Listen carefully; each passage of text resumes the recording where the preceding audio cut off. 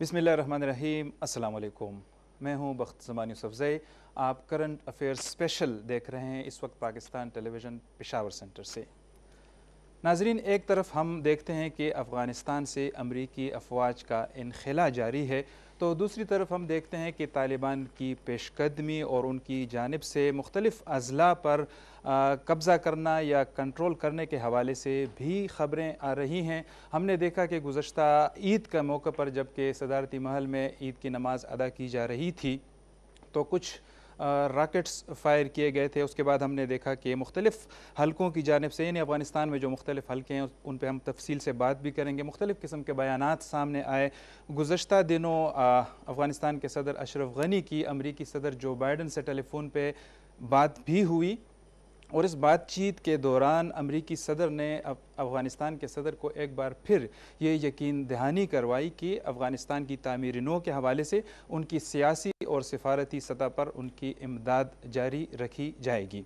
हमने देखा कि अफ़गानिस्तान के बाद हलकों की जानब से पाकिस्तान के हवाले से कुछ मनफी ख्याल और बयान भी सामने आए। हम इस हवाले से भी कोशिश करेंगे कि बात करें। पाकिस्तान का इस हवाले से भी हमेशा एक मुस्बत किरदार रहा है।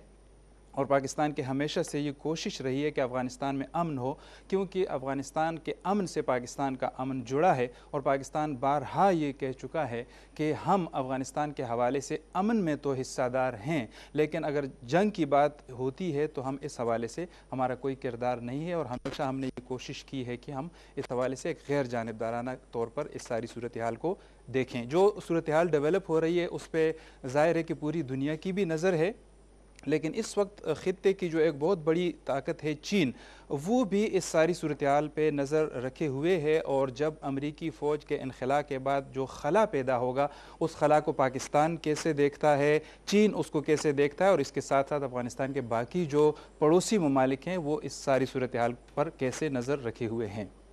तफसील से हम जायज़ा लेंगे इन सब इश्यूज़ का इस पर बात करेंगे तफसील से। मेहमानों का तारफ़ आपसे करवाता चलूँ। मेरे दाएँ जानब हमारे मेहमान हैं दिफाई तजिया कार ब्रिगेडियर रिटायर्ड सईदुल्ला खान साहब। सईद साहब आपका शुक्रिया आपने वक्त दिया। थैंक यू सो मच हमारे दूसरे मेहमान हैं प्रोफेसर डॉक्टर अब्दुलरऊफ़ साहब जो चेयरमैन हैं शोबा सियासियात जामिया पेशावर के। डॉक्टर साहब आपको भी खुश कहते हैं। और हमारे तीसरे मेहमान इमरान ख़ान साहब हैं जो नेशनल डिफेंस यूनिवर्सिटी इस्लामाबाद में इंटरनेशनल रिलेशन डिपार्टमेंट से वाबस्ता हैं। सर आपका भी शुक्रिया। ब्रिगेडियर साहब सबसे पहले अगर हम आपसे बातचीत का आगाज़ करें जो सूरत हाल डेवलप हो रही है जो इमर्जिंग सिचुएशन है इस वक्त अफ़गानिस्तान में जो करंट सिचुएशन है अगर आप इस हवाले से ज़रा हमें और हमारे नाजरीन को बता दीजिए कि इस वक्त वहाँ पर क्या सूरत हाल है, क्योंकि फिर उसको लेकर हम आगे चलेंगे, बाकी जो मेहमान हैं उनको भी हम गुफ्तु में शामिल करेंगे। आप हमें ज़रा एक ओवरव्यू दे दें इस वक्त तक की। बसमीम आजकल अफ़गानिस्तान में जो सूरत हाल है, वो लम्हा बलमा तब्दील हो रही है और एक तरह से ख़तरनाक और पेचीदा सूरत हाल वो सामने आ रही है, जिसमें जब अमेरिकन ने अचानक इनखला किया अफ़गानिस्तान से, बाग्राम एयरबेस से। और उसमें जनरल कोस्तानी के बकौल के उनको चार घंटे बाद पता चला और रात को अंधेरे में, अंधेरा था, लाइट्स ऑफ़ कर रखी थी। उस वक्त से लेकर आज तक तालिबान की पेशकदमी वो बड़े एक स्पीड से हो रही है। और आज का जो बयान है स्पोक्समैन, जो तर्जुमान है अमेरिकन हुकूमत का और उनके जो सीनियर फ़ौजी ऑफिशल हैं तो वो कह रहे हैं कि तकरीबन अफ़गानिस्तान के पचासी फ़ीसद हिस्से पर तालिबान काबिज़ हो चुके हैं। काबल के अलावा और कुछ वस्ती जो ज़िले हैं, रियासतें हैं, उनके अलावा अक्सर और बेशतर मकाम पर तालिबान काबिज़ है और उनके सामने कोई इतनी बड़ी मुजाहमत भी नहीं हो रही। ख़ुद से अमेरिकन हुकूमत का यही कहना है कि उनके निकलने के तकरीबन कोई छः महीने के अंदर अंदर काबल अफ़गान हुकूमत वो तब्दील हो जाएगी। अब देखना यह है कि कौन इसके बाद बरसर इकतदार आता है। पाकिस्तान हुकूमत की कोशिश यही थी कि तालिबान को और अफ़गान हुकूमत को मुख्तलिफ़ दड़े जो है वो उनको मुजाकरात के मैज़ पर ला के बिठा दें। और अमेरिकन के निकलने से पहले या नेटो के निकलने से पहले इनके आपस में कोई ऐसी हुकूमत कायम हो जाए, जो वस्त मुद्दती हो या निगरान हुकूमत हो, वो कायम हो जाए, ताकि ये जो इनखला है और इनखला के बाद जो हुकूमत की तब्दीली है, वो अफगान अवाम के मफाद में हो, वो अमन के मफाद में हो, और वो एक तरह से स्मूथ तरीके से सर अंजाम पाए। बदकस्मती से वो हो नहीं सका। लेकिन उसके बाद से जो पाकिस्तान हुकूमत का एक स्टांस है, जिसमें वज़ी अजम ने भी कहा है कि वो अब उन लोगों के साथ, अफ़गान अवाम के साथ खड़े होंगे। जो भी अफ़गान अवाम फैसला करेंगे, पाकिस्तान उनके साथ होगा। वज़ी ख़ारजा का भी यही बयान है कि ये आपस में मिल बैठ के जो फैसला करे, पाकिस्तान उसी के साथ रहेगा। पाकिस्तान आर्मी चीफ का भी यही बना, बयान है कि अफ़गानिस्तान का अमन पाकिस्तान के अमन के मुतरदफ है इसलिए वो भी यही चाहते हैं। तो पाकिस्तान तो यही चाह रहा है लेकिन दूसरी तरफ़ जो बाकी हुकूमतें हैं जो इलाकई हुकूमतें हैं रीजनल जिसमें रूस चाइना और उज़्बेकिस्तान पाकिस्तान ईरान का किरदार है वो भी अब आस्ते आस्ते नुमाया होता जाएगा और और उस पर हम आगे चल के बात करते हैं। अब्दुल रऊफ साहब चूँकि हमारे साथ मौजूद हैं आपका ताल्लुक शोबा सियासियात से। हमने देखा कि नाइन अलेवन के बाद जब ये सारा कुछ हुआ फिर वहाँ पे एक हुकूमत बनी एक पॉलिटिकल सिस्टम वहाँ पे वजूद में आया। वो हम कोलेप्स होता हुआ देख रहे हैं। इसमें एक डेवलपमेंट ये हुई है कि हाल ही में तालिबान की जो मुजाकराती जो टीम है उसके एक अहम रुकन है और उनके तर्जुमान है सुहेल शाहीन। उन्होंने कहा है कि हम कभी ये नहीं चाहते कि हम बिला शिरकत गैर अफ़गानिस्तान पर हमारी हुकूमत हो।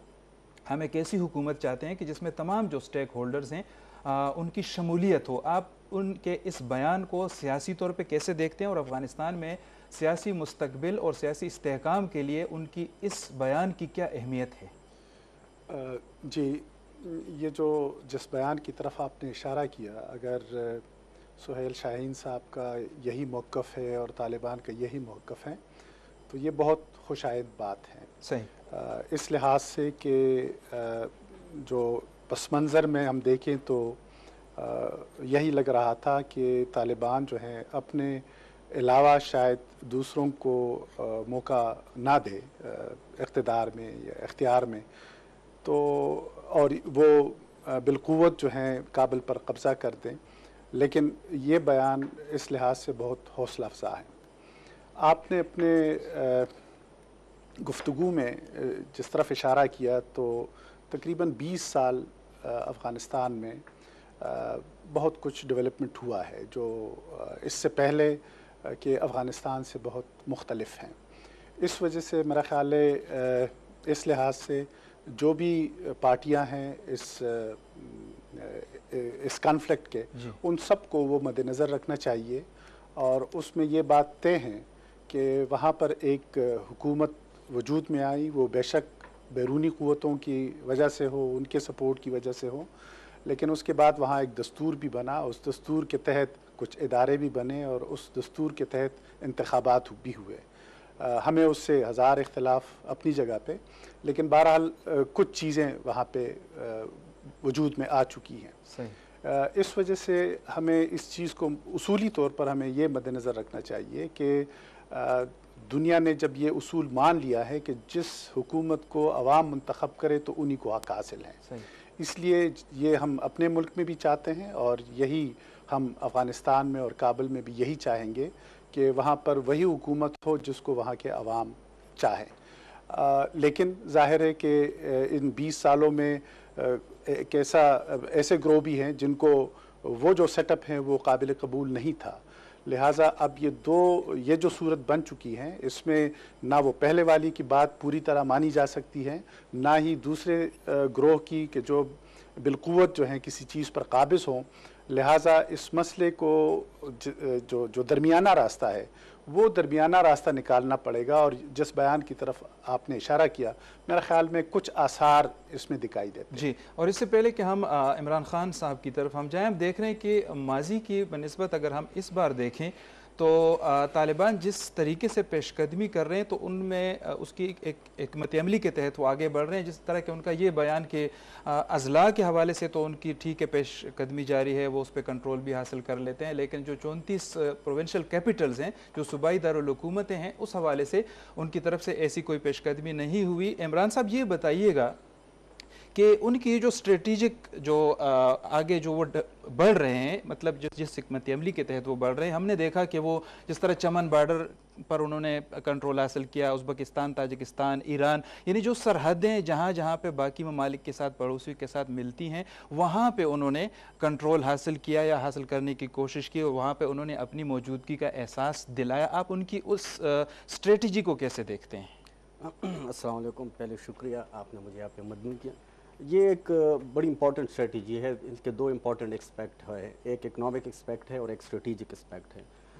जो चौक पॉइंट्स हम उन्हें कह सकते हैं या बॉर्डर पॉइंट उन्हें कह सकते हैं, या ट्रांजिट रूट्स के तौर पे भी काम करते हैं। यहाँ से तो एक तालिबान की जो इकनॉमिक स्ट्रेंथ है, वो आहिस्ता आहिस्ता मज़बूत होनी शुरू हो जाएगी। दूसरी एक इफ़ेक्टिव सर्वेलेंस के तौर पे भी अब ये काम कर सकते हैं। अफगान, अफ़गानिस्तान में जो चीज़ इंटर हो रही है, कौन सी चीज़ कहाँ से आ रही है, क्या आ रही है वो प्रॉपरली इनके कंट्रोल में होगी। एक कंट्रोल मैकेनिज़्म से चीज़ें एंटर होंगी और कंट्रोल मैकेनिज़्म से चीज़ें आउट होंगी। तो ये चीज़ें इनको एक स्ट्रेटिजिक लेवरेज भी प्रोवाइड कर रही है और इकनॉमिक एक अपॉर्चुनिटी भी प्रोवाइड कर रही है। दोनों तरफ़ से ये एक इंपॉर्टेंट चीज़ है। क्योंकि जंग हो या पीस हो जो इम्पोर्टेंट चौक पॉइंट्स होते हैं, जो कनेक्टिंग पॉइंट होते हैं, ये बहुत इंपॉर्टेंट होते हैं, क्योंकि इस पर इकानमी भी डिपेंड करती है और आपकी स्ट्रेटिजिक पोजीशन भी डिपेंड करती है। यही पर्टिकुलर पॉइंट है जहाँ पे इंटरडिक्शंस भी होती है और जहाँ पे आप एक स्मूथ फ्लो को भी इंश्योर करते हैं। तो ये इनकी एक एक एक एक प्रूडेंट वो है स्ट्रेटजी है, जिससे ये अपने जो सराउंडिंग के नाइबर्स के जो कंट्रीज़ है, जिस तरह ऊपर ताजिकिस्तान, पाकिस्तान या ईरान है या और बकाया कंट्रीज़ है, उनको भी ये अपनी प्रेजेंस फील करवा रहे हैं कि हम आपके बॉर्डर्स तक पहुँच गए हैं और आप लोगों ने you should take a serious कि हमें सीरियसली और वी आर स्टेक होल्डर्स हम इस रीजनल जो सेटअप्स इमर्ज हो रहे हैं, जिसमें अमूमन नाइबर्स कंट्रीज़ भी रीजनल पावर्स भी उसमें इन्वॉल्व है एक्स्ट्रा रीजनल पावर्स भी इन्वॉल्व है।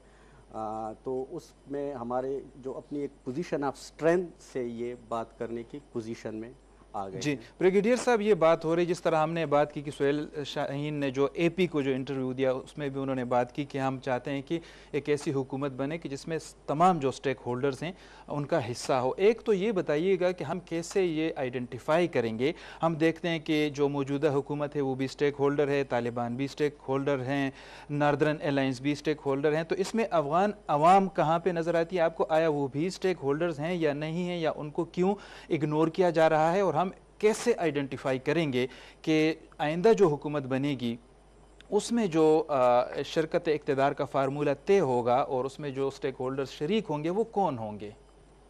ये एक चीज़ बड़ी वाजह है कि ग्रुप सिर्फ़ तालिबान और अफगान हुकूमत नहीं है, ग्रुप काफ़ी सारे हैं।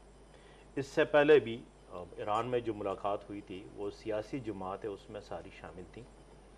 उसके अलावा आपने बताया जो शुमाली इतिहाद वाले हैं, वो शामिल हैं।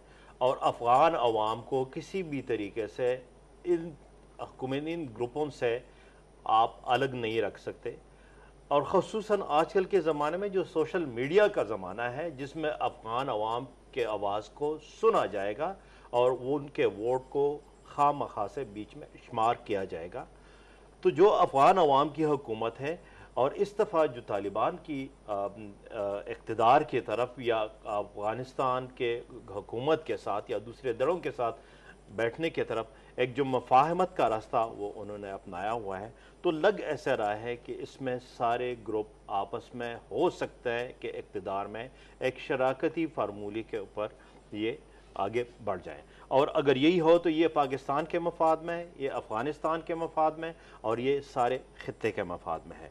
लेकिन इसके साथ हमें ये जहन में ज़रूर रखना पड़ेगा कि तालिबान जो आस्ते आस्ते बढ़ रहे हैं, वो अपर हैंड है।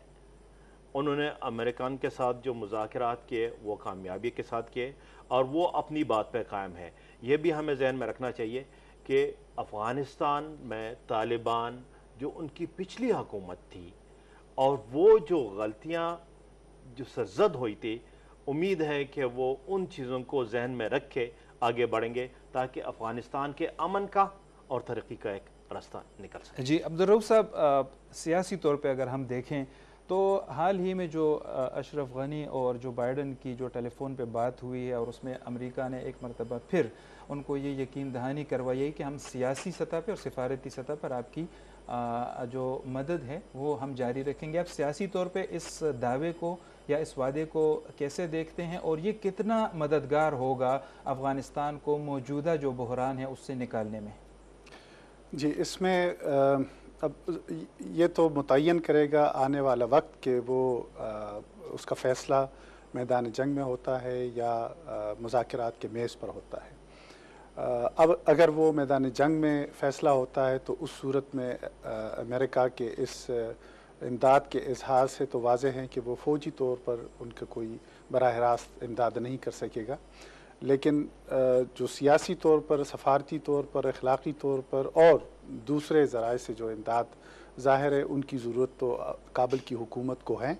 और ये उनके सर्वाइवल के लिए, उनके बका के लिए ये बहुत अहमियत का हामिल है। इसमें कोई शक नहीं है। सही। इमरान साहब, आप चूँकि डिफेंस यूनिवर्सिटी में पढ़ाते हैं स्ट्रेटिजिक इश्यूज़ पे आपकी नज़र है बार बार जब हम स्ट्रेटिजिकल अप्रोच की बात आती है तो आपकी तरफ़ हम आते हैं। तो ये जब, सोहेल शाहीन ने यह भी कहा है कि इस बार अगर उनको इकतदार मिला तो वो माजी की नस्बत मुख्तलिफ़ होगा। यहाँ पर ख़वान स्कूल भी जाएँगी आ, काम भी करेंगी उनको आज़ादी भी होगी वो सियासत में भी हिस्सा लेंगे लेकिन बशर्त कि वो हिजाब या हेड स्कार्फ जो है वो पहनेंगे। इस स्ट्रेटजी को और ये इस अनाउंसमेंट को कैसे देखते हैं आप?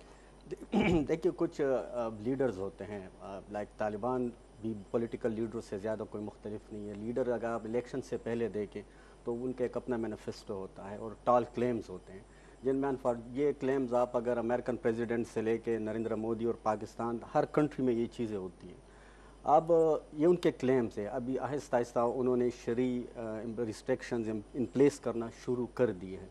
अगर इनको गवर्नमेंट मिलती है और ये थोड़ा सा मॉडरेट डगर पे जाते हैं तो आई एम आई अफ्रेड कि ये अपनी जो पॉपुलैरिटी है, जो इन्हें इस्लामिक शरिया के बेसिस पे इनको जो सपोर्ट जो जो भी इनको सपोर्ट मिल रही है, वो इस्लामिक एक खिलाफत सिस्टम या एक शरिया सिस्टम के बेसिस पे मिल रही है। अगर वो अपने शरिया के उन लॉस को कंप्रोमाइज़ करेंगे, या जिस, जो इन्होंने रेटोरिक क्रिएट किया था, उस रेटोरिक पे कंप्रोमाइज़ करना आहिस्ता आहिस्ता शुरू कर देंगे तो ये अपनी पॉपुलरिटी को इनके इर्द गिर्द जो एक मखसूस एक ग्रुप है, जो इनको सपोर्ट कर रहे हैं सो so, आहिस्ता आहिस्ता वो ग्रुप मुंतशिर भी हो सकता है उनमें से कुछ जो चैलेंजर्स है वो भी मर्ज हो सकते हैं और ये इनमें डिविजन्स क्रिएट हो सकते हैं। तो फॉर द टाइम बीन इस वक्त क्योंकि ये इंटरनेशनली डायलॉग्स में है नेगोशिएशंस में हैं और ये ज़्यादा से ज़्यादा अपने सॉफ्ट इमेज को उजागर करने की कोशिश करेंगे बयान बयान तक तो ओके लेकिन अगर ये पावर में आते हैं और फिर अगर ये एब्सोलूट पावर में आते हैं तो मैं कहता हूँ कि ये पास्ट से कोई ज़्यादा डिफरेंट जो इनके बिहेवियरल पैटर्न्स होंगे इतने ज़्यादा ये तो फिर देखा जाएगा जब अगर उनको ये मौका मिलता है और वो इकतदार में आते लेकिन यहाँ पे ये भी आपको बताना ज़रूरी है, इससे पहले कि हम ब्रिगेडियर साहब की तरफ़ जाएँ और उनका कमेंट हम इस पे लें कि अशरफ गनी साहब जब अफ़गानिस्तान के सदर मंतखब हुए पहली मरतबा तो उनसे बहुत ज़्यादा तो थी कि एक तो वो अफ़गानिस्तान की तरक्की के लिए इसकाम के लिए काम करेगा और साथ साथ पड़ोसी ममालिक और बिलखसूस पाकिस्तान के हवाले से भी उनसे ये तो थी कि माजी में जो गलत फहमियाँ अफ़गानिस्तान की जानब से पाकिस्तान के हवाले से पैदा हुई, उसका वो कला कमा करेंगे।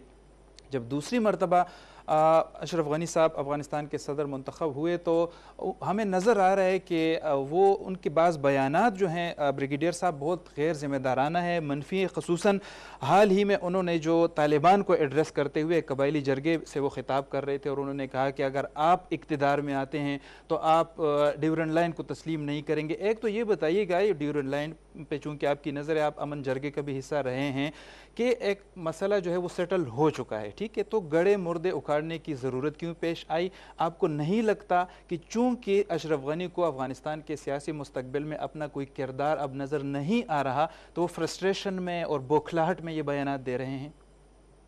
भाई सवाल नहायत बर वक्त है। और मैं समझता हूँ कि शायद इस वक्त इससे ज़्यादा मौजूद सवाल अशरफ गनी के बयानात की रोशनी में और नहीं हो सकता। हमारे, हमें बड़े अफसोस से कहना पड़ता है कि जनरल राहील शरीफ ने बड़ी मुखलसाना कोशिशें की। वज़ी ख़ारजा ने बड़ी मुखलसाना कोशिशें की। वज़ीर अजम गए अफ़गानिस्तान में, खुले दिल के साथ उनको ऑफ़र किया कि जो पाकिस्तान कर सकता है। मौजूदा आर्मी चीफ कई बार गए, आईएसआई चीफ कितनी दफ़े गए अफ़गानिस्तान में लेकिन अफसोस है कि दूसरी दफ़ा इकतदार में आके भी अशरफ गनी पाकिस्तान के बारे में वो मनफी रवैया अभी तक रख रहे हैं। और उस मनफी रवैये से और उस मनफी बयान से वो बाज नहीं आ रहे। हमें ये जहन में रखना चाहिए। डिविडेंड लाइन 8 अगस्त 1919 को साइन हुआ था। 19 सौ उन्नीस अगस्त से लेकर आज तक ये 102 साल 102 साल हो गए। और ये अंग्रेज़ों ने रावलपिंडी में उस वक्त साइन किया जब इससे पहले अफ़गानिस्तान के अमीर अब्दुलरहमान ने चार दफे अंग्रेज़ों को खत लिखा कि हमारे साथ आप ये बॉर्डर डिसाइड कर ले। अफ़गानिस्तान का बॉर्डर तो ना रूस के साथ कभी है डिसाइड हुआ।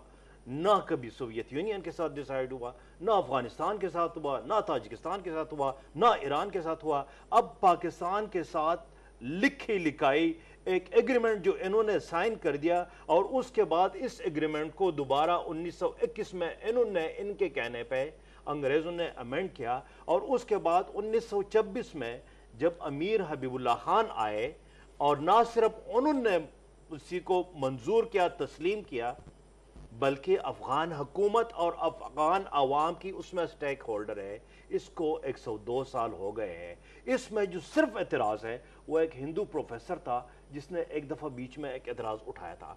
उसके अलावा आज तक डिविडेंड लाइन के ऊपर कई आवर्स है विकीपीडिया देख लें, उसी में यही इंटरनेशनल बॉर्डर है। भले ये दस दफ़ा कहे, ये असमार की बात नहीं कर रहे, जो हमारा हिस्सा था। ये काफ़ी सारे हिस्से जो डिविडेंड लाइन के एवज उनको पाकिस्तान से दे गए थे। उसके बारे में ये बात नहीं कर रहे। और ये अफसोस की बात है कि इस मौके पर जब पाकिस्तान की हकूमत, जब पाकिस्तान का वज़ीर अजम जब वज़ीर खारजा, जब आर्मी चीफ, जब वज़ीर इतलात हर एक यही बात कर रहा है कि जो अफगान अवाम का मफाद है, वो हमारा मफाद है। पाकिस्तान का अमन अफ़गानिस्तान के अमन के साथ जुड़ा हुआ है। ऐसे में फिर ऐसे मनफी बयान देना बिकॉज़ उनके पास इस वक्त और कुछ कहने को रहा नहीं, और उनको भी ये नज़र आ रहा है कि उनकी हुकूमत जल्द जाने वाली है और अब अफ़गानिस्तान का जो मुस्तबिल का सियासी जो मंजरनामा बनेगा उसमें मेरे ख्याल में अब चूँकि उनकी वो उम्र की भी एक ऐसे हद पे हैं कि जहाँ पे मेरे ख्याल में उनको सियासत में अब मज़ीद उनका कोई किरदार नहीं है। अब्दुलरऊफ़ साहब ये बताइएगा कि हम इसमें तो कोई दो राय नहीं है जिस तरह की पाकिस्तान ने हमेशा कोशिश की कि अफ़गानिस्तान में अमन रहे। हम अगर अफ़गान महाजरीन के हवाले से पाकिस्तान की कुर्बानियों को देखें दिहाइयों से वो यहाँ पे हैं यहाँ पे कारोबार कर रहे हैं यहाँ पे तजारत कर रहे हैं। यहाँ पे पढ़ रहे हैं, ठीक है? उनके जो तलबा और तालिबात यहाँ पे मेडिकल कॉलेजेस में इंजीनियरिंग यूनिवर्सिटीज़ में, ये सारी कुर्बानियाँ एक तरफ़, लेकिन इसके बावजूद जब भी जिस तरह ब्रिगेडियर साहब ने इशारा किया, उनको मौका मिलता है तो वो अपनी मनफी जहनीत की अक्सी करते हुए पाकिस्तान के ख़िलाफ़ जो है वो जहर अफशानी करते हैं।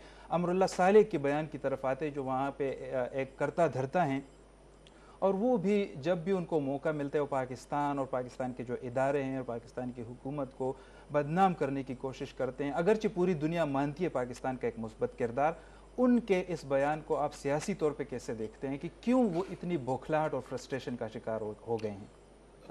देखिए हमारे जैसे ममालिक और हम जैसे कौमें जो हैं वो जब अपने आ, उनकी अपनी नाकामियाँ होती हैं तो उसके लिए एक आसान रास्ता ये इख्तियार कर देते हैं कि वो आ, किसी और पर उसकी ज़िम्मेदारी डाल देते हैं।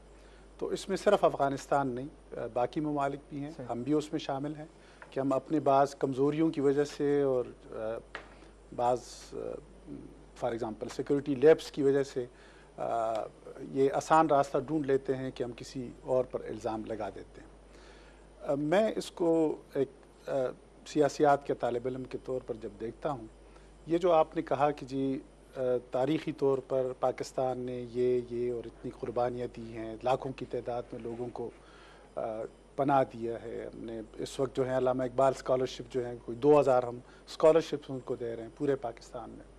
इसके अलावा भी फिर इलाज की सहूलतें सबको मालूम है। लेकिन मेरा सवाल यह है कि पाकिस्तानियों ने, पाकिस्तान के अहल दानिश ने और पाकिस्तानी कौम ने कब इस सवाल पर गौर व फ़िक्र शुरू किया? जी। यानी कभी हमने ये सोचा कि इस तरह क्यों होता है? यानी इस पर हमें गौर करना चाहिए और जब हम इस पर सोचेंगे गौर करेंगे तो कोई रास्ता भी निकाल लेंगे। लेकिन मेरा ख्याल है कि इस सवाल को इस तरह हमने कभी उठाया नहीं है। सही। जी। और यहाँ पे हम जब ख़त्े में अमूमी अमन की बात करते हैं पाकिस्तान और अफ़गानिस्तान के पड़ोसियों के हवाले से या उनके किरदार के हवाले से बात करते हैं तो भारत का भी इसमें एक किरदार हमेशा रहा है और बदकिस्मती से वो हमेशा एक मनफी किरदार रहा है।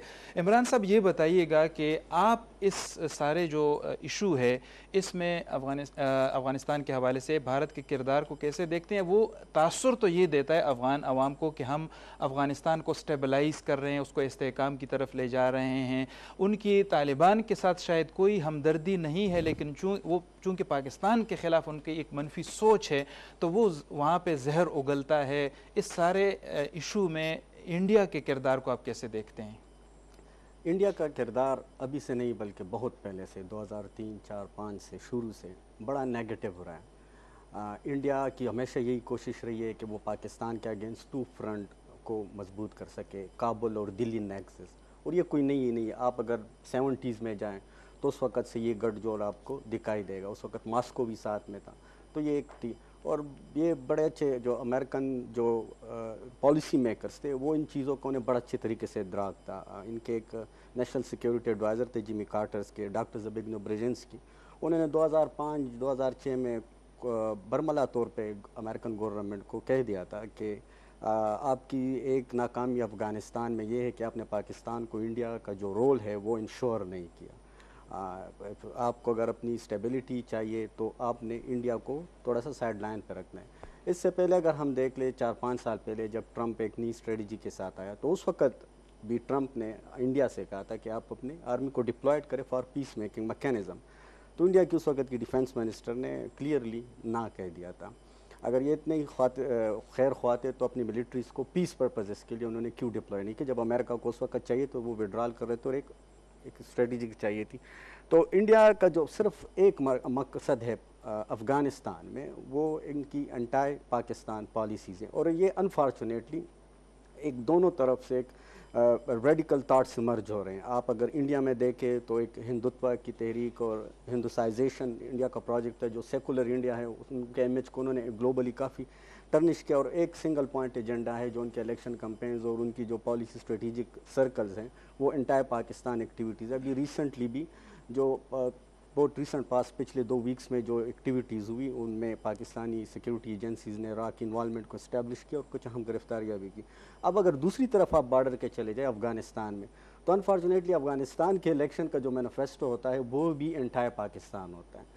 पिछले चार सदियों से, तीन सदियों से जो भी अफगान लीडर आ रहे हैं, वो इंटायर उनके पास डिलीवर करने के लिए कुछ नहीं है। अशरफ गनी हो या अहमद करजई हो, उन्होंने बावजूद इसके कि इनको अमेरिकन सरपरस्ती हासिल थी, इनको अमेरिकन डॉलर्स प्रोवाइड कर, उनको सिक्योरिटी सपोर्ट था, उनको ट्रेनिंग्स थी मिलिट्री असिस्टेंस थी, सारी चीज़ें थी। ये वही अमेरिका है जो उन्होंने काफ़ी कम इस तरह के प्रोजेक्ट यूरोप में जब इन प्लेस कराए तो उन्होंने पूरे यूरोपीय यूनियन और वेस्टर्न यूरोप को डेवलप किया जिसमें जर्मनी और, अमेरिका ने एक खरब डॉलर जो है वो बहुत उससे ज़्यादा की इन्वेस्टमेंट उन्होंने अफ़गानिस्तान में की लेकिन अफ़गानिस्तान एक ब्लैक होल के तौर पर इमर्ज हुआ साबित हुआ अमेरिका के लिए। और उसमें जो सबसे इंपॉर्टेंट रोल है वो इनके जो लीडर्स थे वो डिलीवर नहीं कर सकते। उनमें जो एक नेशनलिज्म का फैक्टर्स है जो अपनी कंट्री से मोहब्बत है वो अनफॉर्चुनेटली ना कर सके। और ये जिस तरह सर प्रोफेसर साहब ने कहा भी है कि अनफॉर्चुनेटली थर्ड वर्ल्ड लीडर्स में यही होता है कि वो अपनी मिजरीज जो होते हैं वो दूसरों पे पिन करते हैं। इस पे मैं एक, एक नावल मुझे याद आया एनिमल फार्म जी। एनिमल फार्म में भी यही एक नावल बड़े डिटेल नावल है। लेकिन यही होता है जो लीडर डेवलप डिलीवर नहीं कर पा रहा होता तो वो दूसरों को इल्ज़ाम उस पर पिन करता है। इसी तरह अशरफ गनी है इनके पास इस वक्त पॉलिटिक्स के लिए नेशनलिज्म के तौर पे ड्यूरिंग लाइन के अलावा और कोई नहीं है। इन्होंने पिछले पाँच सालों में कुछ नहीं किया। इनके इंस्टीट्यूशन इन्होंने एम्पावर्ड नहीं किए इंडिपेंडेंट इंस्टीट्यूशन इन्होंने नहीं बने। बावजूद इसके कि इनके पास अमेरिका मिलिट्री एड देते थे अमेरिकन को इकनॉमिक एड देते यूरोपीय यूनियन से ज़्यादा एड अमेरिका ने इस खत्े में दिए। जी तो, और ये हम यहाँ पे ये भी देखते हैं नाजरीन कि जब हम भारत के हवाले से बात करते हैं ब्रिगेडियर साहब फिर उस पर तबसरा फरमाएँगे।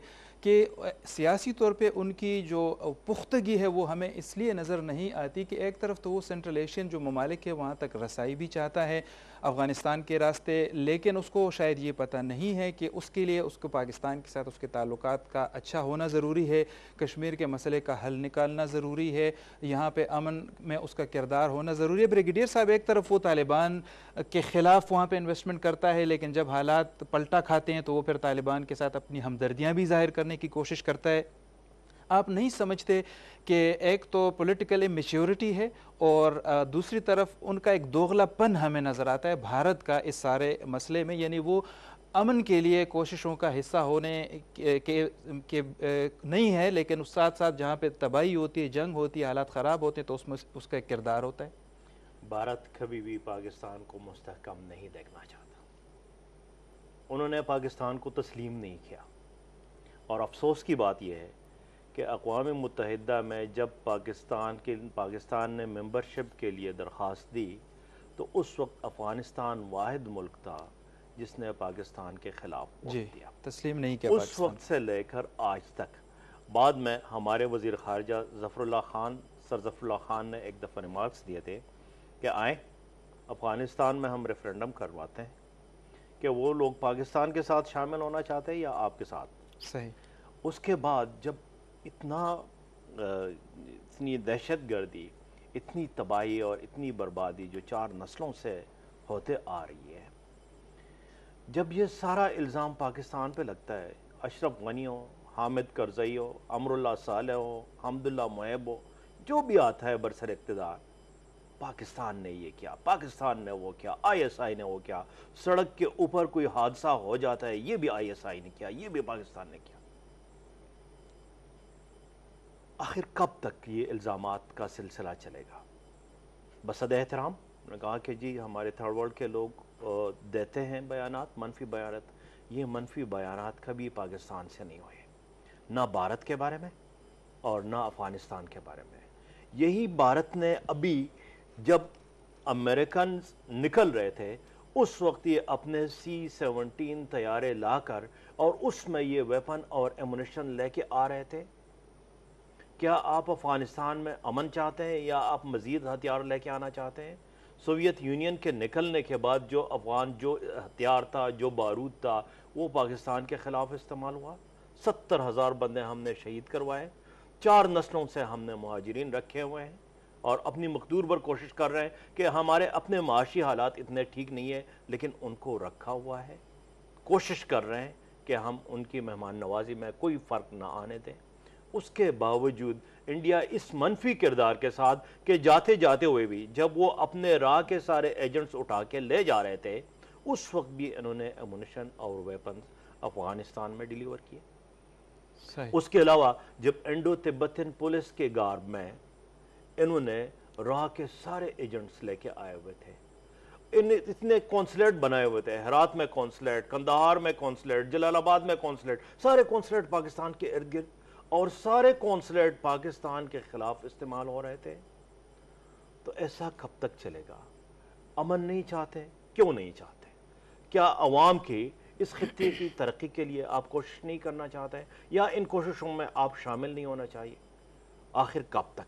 हमें कम अज़ कम खत्े के ममालिक को मिल बैठ के यही और मौजूदा सूरत हाल में जो मैक्सिमम स्टेक होल्डर है, पाकिस्तान से ज़्यादा किसी ने कुर्बानी नहीं दी। पाकिस्तान से ज़्यादा किसी ने कोशिश नहीं की कि इनको ला के मुजाकर के मेज़ पर बिठा दें कि ये अपना फैसला और मुजात के मेज़ पर बिठाने के साथ साथ आ, हम तारीखी तौर पर अगरचे ये हकीकत अब पूरी दुनिया मान चुकी है लेकिन अभी भी आ, चाहे अफ़गानिस्तान हो या भारत हो या वहाँ पर बाकी जो क़वतें हैं, उनकी तरफ़ से बार बार ये इल्ज़ाम लगाया जाना कि तालिबान को पाकिस्तान की हिमायत हासिल है, तालिबान जो है वो पाकिस्तान ने पैदा किए अगरचे ये पूरी दुनिया जानती है कि नबे की दिहाई में जब वहाँ पर सिविल वार हुई तो ये वहाँ से ये क़वत बनकर उभरे और ये अफ़गानिस्तान के बच्चे हैं। लेकिन दूसरी तरफ़ पाकिस्तान की जो कुर्बानियाँ हैं ब्रिगेडियर साहब ने भी जिस तरफ़ इशारा किया कि उस पर कोई बात नहीं करता। हम देखते हैं कि अफ़गानिस्तान की तरक्की में वहाँ पर जो माशी इसकाम आया, जो किसी हद तक आया, उसमें ना भारत का कभी किरदार इतना मौसर रहा है, ना अमरीका का रहा है, उसमें पाकिस्तान का किरदार रहा है। हम अगर स्पोर्ट्स के हवाले से बात करें तो अफ़गानिस्तान की जो मौजूदा क्रिकेट टीम है, जो अब दुनिया की सतह पर एक मज़बूत टीम के तौर पर उभर रही है, वो सारे जो लोग हैं, उसमें ज़्यादातर यहाँ पे पिशावर में वो खेलते रहे हैं। पाकिस्तान ने वहाँ पे क्रिकेट डेवलप किया, पाकिस्तान के जो सीनियर खिलाड़ी हैं, उन्होंने उनकी कोचिंग की। बाकी मैदानों में भी, खेल के मैदानों में भी, टूरिज़म के हवाले से, वहाँ पर इंफ्रास्ट्रक्चर डेवलपमेंट के हवाले से, वहाँ पर रिकन्स्ट्रक्शन के हवाले से भी पाकिस्तान का हमेशा एक मौसर और मुस्बत किरदार रहा है। लेकिन अफसोस की बात यह है कि जब अमरुल्ला साले जैसे लोग अशरफ जैसे लोग वहाँ पर बैठते हैं तो वो ये बातें भूल जाते हैं और जो मनफी उनकी जहनीत है उसका वो मुजाहरा करते हैं। सर आप इसको सियासी तौर पर कैसे देखते हैं? आपका तबसर इस पर हम जानेंगे। मेरे लिए आ, इन इन तमाम मसाइल की तरफ़ देखने का एक नहज ये है कि मैं अपने मुल्क और अपने कौम के हवाले से चीज़ों को देखूँ। भारत और पाकिस्तान का ताल्लुक़ सबके सामने वाज हैं। भारत हमारा एक दुश्मन है या आप इसको कंपिटेटर कहें वो तो वो कुछ करेगा जो वो कर रहा है। सवाल ये है कि मेरा मुल्क और हम क्या कर रहे हैं? मैं इसको अपने मुल्क की अपने कौम की नाकामी का इतराफ़ करता हूँ कि अफ़गानिस्तान जैसे मुल्क जिसमें और पाकिस्तान के लोगों में हर लिहाज से हर लिहाज से सबसे ज़्यादा अहम हम आहंगी पाई जाती है अगर पाकिस्तान के किसी और किसी भी मुल्क के साथ हो।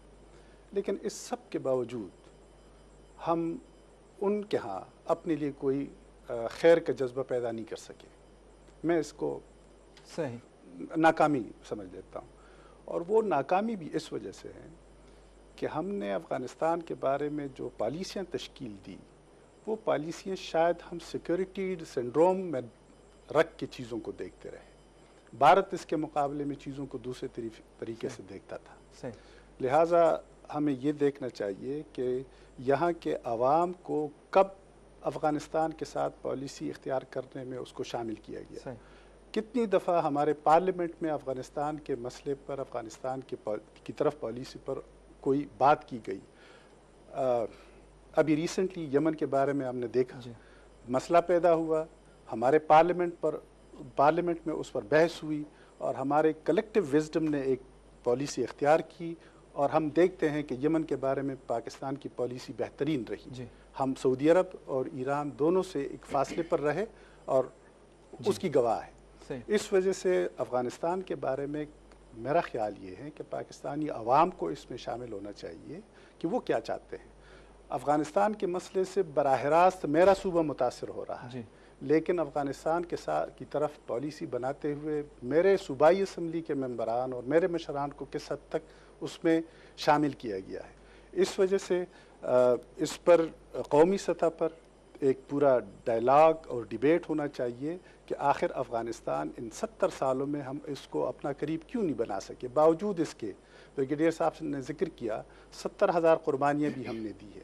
हमने पाकिस्तान को उजाड़ दिया। कलशनकोफ कल्चर यहाँ पे आया। यहाँ पर मनशियात का आम हो गई। हमारे यहाँ मिलिटेंसी आ गई। ये सारा सब कुछ इस उन्हीं पॉलिसियों का नतीजा है जो अफ़गानिस्तान की तरफ़ से हमने उस पर्सपेक्टिव में देख के अख्तियार किया। इस वजह से हम सियासियात के एक तालब इलम के तौर पर मैं इसे ये समझता हूँ कि पाकिस्तानी अवाम को यहाँ मिल बैठ के इस पर बहस मुबासा करना चाहिए कि हमारे लिए क्या तरीक़ा बेहतर है। और मुझे यकीन है कि जो कलेक्टिव विजडम है इस पर बहस मुबासे के बाद जब ये निकलेंगे उठेंगे तो वो पॉलिसी पाकिस्तान के पाकिस्तान के अवाम की पाकिस्तान के अफवाज की इन सब के बेहतरी में होगा। जी, इससे ये बात भी सामने आती है। हम अगर डॉक्टर साहब की गुफ्तु को आगे बढ़ाते हैं कि तारीख़ी तौर पर हम देखते हैं कि जब वहाँ पे कम बेश कोई पचास साल तक जब किंग ज़ाहिर शाह की हुकूमत थी या वो उसके इकतदार के मालिक थे तो अफ़गानिस्तान का जो किरदार था वो पाकिस्तान के हवाले से और बाकी ममालिक के हवाले से एक गैर जानबदाराना था।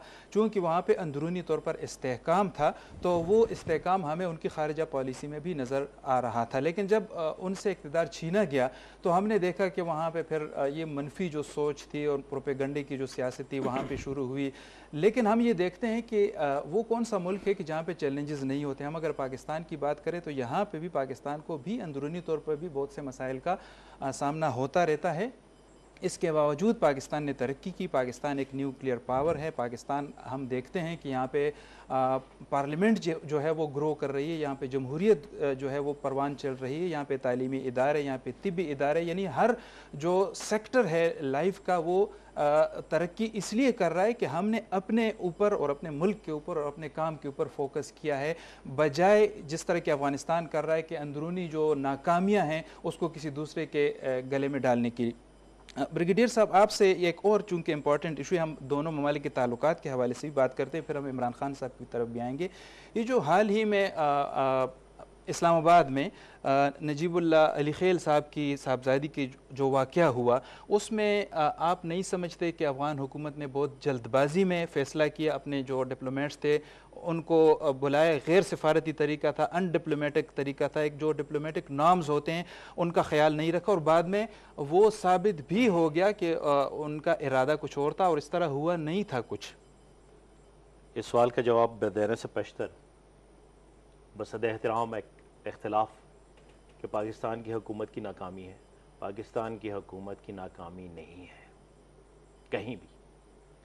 पाकिस्तान की हुकूमत की कामयाबी ये है कि अमेरिकन को अफ़गानिस्तान के मुख्तलिफ़ ग्रुपों को और मुजाहिद अब ये तालिबान को मेज़ पर मुजाकर के मेज़ पर ला के बिठा दिया। सही। उनके आपस के अख्तलाफात के बावजूद आपस में बिठा दिया। जो अमेरिकन और तालिबान के दरमियान एक एग्रीमेंट हुआ, वो भी पाकिस्तान की ही कामयाबी है और पाकिस्तान के वजह से हुआ। जो अफ़गानिस्तान से पाकिस्तान के अंदर दहशत गर्दी हो रही है, हो रही थी, ये एक तरह से इंसर्जेंसी थी और ये पाकिस्तान आर्मी दुनिया की वाहिद फ़ौज है, जिसने इस दहशत गर्दी के ख़िलाफ़ कामयाबी के साथ ऑपरेशन किया और अल्हम्दुलिल्लाह गवर्नमेंट की रट वापस उन इलाकों में कायम की जहाँ पे बॉर्डर से इनके दरमियान दहशत गर्दी हो रही दुरुस्त। पाकिस्तान गवर्नमेंट ने पूरे बेल्ट के साथ बहुत कलील अरसे में जो बाहर लगाई जहाँ से ना अब दहशत गर्दी हो सकती है ना अब स्मगलिंग हो सकती है। लेकिन हमें ये जहन में रखना पड़ेगा कि अफ़गानिस्तान ने और हिंदुस्तान ने कभी पाकिस्तान को तस्लीम नहीं किया। कभी पाकिस्तान के वजूद को तस्लीम नहीं किया, ना करेंगे। और ये अब से नहीं है। और ये पाकिस्तान के अवाम की या पाकिस्तान की हुकूमत की या पाकिस्तान की पार्लियामेंट की नाकामी नहीं है कि उनके दिल में हमने अपनी जगह नहीं बनाई। नहीं, जिस बंदे ने, जिस हुकूमत ने, जिस मुल्क ने शुरू से बोझ रखा हुआ है, उस बोझ को आप कैसे कर सकते हैं दूर? और ये बोझ अभी का नहीं है। हमें ये जहन में रखना चाहिए कि जब सिखों ने अटैक किया था उस वक्त ये अफगान फौज सात कोस तारीख यही बता रही है सात कोस के फासले पर बैठी हुई थी। यही पठान जो अकोड़ा खटक और मानकी शरीफ में लड़ रहे थे, ये गए उनके पास। यही मोहम्मद जई वाली, यही अब अमीर, ये शाहशुजा वाली फ़ौज, यही अफगानियों की फ़ौज बैठी हुई थी और बताया कि हमें आप री हमारे साथ कोई मदद करे, कुमक हमें दे। नहीं दी उन्होंने। ये इख्तलाफात उस ज़माने के हैं, ये हमने नहीं पाल रखे हुए। ये इन्होंने पाल रखे हुए हैं गुजारिश ही है जी और कहते कलामी के लिए माजरत सेवेंटी थ्री में जब ये हुआ तो वहाँ पे आ, सरकारी रेडियो से सरदार दाऊद खान ने ये ऐलान किया कि अफ़गानिस्तान का कोई दुश्मन नहीं है सिवाय पाकिस्तान के। पाकिस्तान ने अगरचे हमेशा एक मुस्बत किरदार अदा किया। यही है यही है इसी तरह चाहे कोई भी बरसर इकतदार हो सिर्फ़ एक तालिबान के कलील अरसे की हुकूमत के हमेशा वहाँ से पाकिस्तान के अंदर पाकिस्तान के खिलाफ बात हुई है पाकिस्तान के अंदर दरअंदाजी हुई है। एक सूरत में या दूसरी सूरत ये ब्रिगेडियर साहब अली खेल के इशू पे थोड़ा सा अली खेल के इशू में ये भी जहन में रहे। बिकॉज़ अब घर के अंदर चार गाड़ियाँ खड़ी है वो खातून निकल रही हैं उसके बावजूद गार्ड्स है वो साथ नहीं लेके जा रहे इन्फॉर्म नहीं कर रहे हैं। टैक्सी में बैठ के उसके बावजूद एक मोबाइल डेटा डिलीट कर दिया जब मोबाइल डेटा डिलीट कर दिया। ये जहन में रहें कि यही है अभी तक इंफॉर्मेशन कि वो ये खातून साइबर उसमें आ, ये मास्टर्स कर रही है तालीम हासिल कर रही है। तो उनको एग्जैक्टली पता है कि ये किस तरह से ये चीज़ें चलती है किस मकसद के लिए ये वहाँ से निकल के पिंडी पिंडी से निकल के ये दामनिको दामनिको से निकल के ये एफ़ सिक्स वाले एरिया में आ रही है और घर से शार्ट वो बैठ रही है और उसके बावजूद इंडिया के उसी वक्त तीन सौ से ज़्यादा वो एक्टिवेट हो जाते हैं। ये भी हमें जहन में रखना चाहिए कि यूरोप में जो लैब था वो किसका था? इन्हीं का था। हाँ हमारी ये नाकामी ज़रूर है कि कुछ हमारे अपने उनके साथ शामिल होते हैं और कुछ अफ़गानिस्तान वाले शामिल होकर पाकिस्तान के ख़िलाफ़ जहर उगलते हैं। तो अगर इससे पहले कि इस बात की कोई तहकीक होती ये बात सामने आती और फिर कोई बात करते फिर कोई बात बनती। जी इमरान साहब आप कमेंट कीजिएगा कि तफ्तीश और तहकीकात का इंतज़ार किए बग़ैर उन्होंने अपना सफारती अमला भी वहाँ पर वापस बुलाया और पाकिस्तान पर एक इल्ज़ाम लगाने का इल्ज़ाम लगाने का एक ना ख़त्म होने वाला सिलसिला भी शुरू हुआ, जिस तरह ब्रिगेडियर साहब ने फरमाया कि यहाँ पे भी कुछ ऐसे लोग होते हैं कि जो उनके लिए, उनकी तरफ़ से खेलते हैं। आप इस सारे इशू को कैसे देखते हैं? और ये डिप्लोमेटिक नॉर्म्स की किस हद तक खिलाफ वर्जी हुई ये एक मेच्योर स्टेप था। इस तरह के डिप्लोमेटिक जो प्रॉब्लम्स हैं, वो क्रिएट होते हैं। बड़े कंट्रीज़ के दरमियान, रश, सोवियत यूनियन और यूनाइटेड स्टेट्स ऑफ़ अमेरिका के दरमियान कई दफ़ा क्रिएट हुए। साउथ चाइना सी में डेली बेसिस पे यूनाइटेड स्टेट्स और चाइना के दरमियान मर्ज होते हैं। लेकिन मैक्सिमम रिस्ट्रेंड एक्सरसाइज किया जाता है, कंक्लूजन तक पहुँच के फिर एक स्टेप लिया जाता है। जब तक चीज़ें हंड्रेड परसेंट कन्फर्म ना हो, तब तक स्टेट्स रिएक्ट नहीं करते। ये उनका एक स्ट्रेटिजिक कल्चर का एक इंपॉर्टेंट हिस्सा होता है, डिफेंस पॉलिसी का एक इंपॉर्टेंट जिज होता है। विदाउट कन्फर्मेशन अगर आप रिएक्ट करते हैं तो इट्स मीन कि इसके पसे पसे पर्दा कुछ और महरक़ात हैं। इन्हें वेट करना चाहिए था इन्हें कॉपरेट करना चाहिए था कंक्लूजन का आ, और इन्होंने नहीं किया।